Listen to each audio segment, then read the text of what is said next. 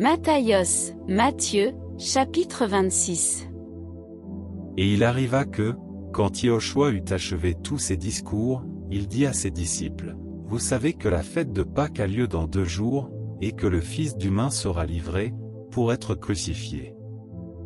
Alors les principaux prêtres, les scribes et les anciens du peuple se réunirent dans la cour du grand prêtre, appelé Caiaphas, et ils tinrent conseil ensemble, pour se saisir de Yehoshua par ruse, afin de le faire mourir. Mais ils dirent, que ce ne soit pas pendant la fête, de peur qu'il ne se fasse quelque tumulte parmi le peuple.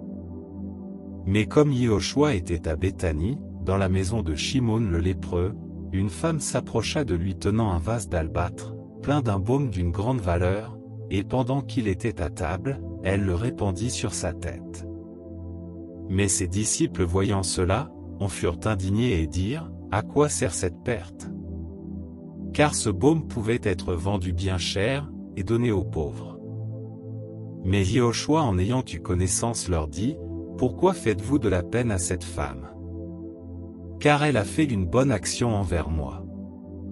En effet, vous aurez toujours des pauvres avec vous, mais vous ne m'aurez pas toujours. Car en répandant ce baume sur mon corps, elle l'a fait pour ma sépulture.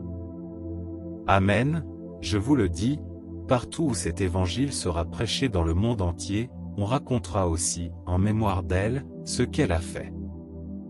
Alors l'un des douze, appelé Yehuda Iscario, alla vers les principaux prêtres, et leur dit, Que voulez-vous me donner, et je vous le livrerai? Et ils lui comptèrent trente pièces d'argent. Et dès lors, ils cherchaient une occasion favorable pour le livrer. Or le premier jour des pains sans levain, les disciples s'approchèrent de Yehoshua pour lui dire, Où veux-tu que nous te préparions, le repas de la Pâque? Et il dit, Allez à la ville chez un tel, et dites-lui, le docteur dit, Mon temps est proche. Je ferai la Pâque chez toi, avec mes disciples. Et les disciples firent comme Yehoshua leur avait ordonné, et préparèrent la Pâque. Et quand le soir fut venu, il se mit à table avec les douze. Et comme il mangeait, il dit, Amen, je vous le dis, l'un de vous me livrera. Ils furent profondément attristés, et chacun d'eux commença à lui dire, Seigneur, est-ce moi? Mais il leur répondit, et dit, Celui qui trempe sa main dans le plat avec moi, celui-là me livrera. Le Fils d'humain s'en va, selon qu'il est écrit de lui, mais malheur à cet humain, par le moyen de qui le Fils d'humain est livré. Mieux vaudrait pour cet humain qu'il ne soit pas né. Et Yehuda qui le livrait, répondit et dit, Rabbi, est-ce moi? Il lui dit, Tu l'as dit. Mais pendant qu'il mangeait, Yehoshua prit du pain et, ayant prononcé la bénédiction, il le rompit, et le donna aux disciples en disant, Prenez, mangez, ceci est mon corps.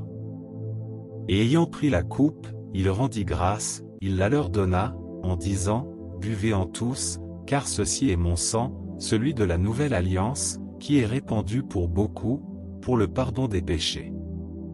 Or je vous dis que désormais je ne boirai plus de ce produit de la vigne, jusqu'à ce jour-là, quand je le boirai nouveau avec vous dans le royaume de mon Père. Et ayant chanté des hymnes pascales, ils se rendirent à la montagne des Oliviers. Alors Yehoshua leur dit, Vous serez tous cette nuit scandalisés en moi, car il est écrit, Je frapperai le berger, et les brebis du troupeau seront dispersées. Mais, après que je serai ressuscité, je vous précéderai en Galilée.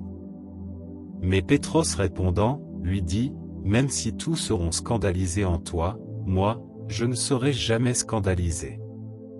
Yehoshua lui dit, Amen, je te le dis, cette nuit même, avant que le coq ait chanté, tu me renieras trois fois. Pétros lui dit, Même s'il me faut mourir avec toi, je ne te renierai jamais. Et tous les disciples dirent la même chose. Alors Yehoshua arrive avec eux dans un lieu appelé Gethsemane, et il dit à ses disciples, Asseyez-vous ici, jusqu'à ce que m'en étant allé là, j'ai prié. Et il prit avec lui Pétros, et les deux fils de Zabdi, et il commença à être saisi de tristesse et d'angoisse. Alors il leur dit, Mon âme est très triste jusqu'à la mort. Restez ici et veillez avec moi. Et étant allé un peu plus avant, il tomba sur sa face, priant et disant, Mon Père, s'il est possible, fais que cette coupe passe loin de moi. Toutefois, non pas comme moi je veux, mais comme toi. Et il vint vers ses disciples, qu'il trouva endormis, et il dit à Pétros, Vous n'avez donc pas été capable, de veiller une heure avec moi. Veillez et priez, afin que vous n'entriez pas en tentation. En effet, l'esprit est bien disposé, mais la chair est faible. Il s'éloigna encore pour la seconde fois, et il pria en disant, Mon Père, s'il n'est pas possible que cette coupe passe loin de moi, sans que je la boive, que ta volonté soit faite. Il revint ensuite, et les trouva encore endormis, car leurs yeux étaient absentis. Et les ayant laissés, il s'en alla encore, et pria pour la troisième fois, disant la même parole.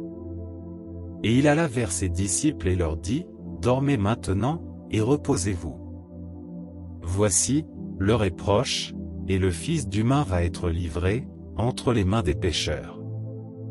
Levez-vous, allons. Voici, celui qui me livre s'approche. Alors ils lui crachèrent au visage, et le frappèrent à coups de poing.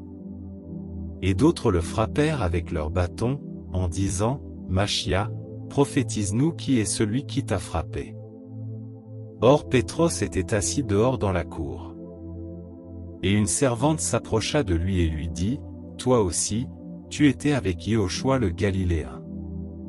Mais il le nia devant tous, en disant, Je ne sais pas ce que tu dis. Et comme il était sorti dans le vestibule, une autre le vit, et elle dit à ceux qui étaient là, celui-ci aussi était avec Yéhoshua, le Nazaréen. Et il le nia encore avec serment, je ne connais pas cet homme.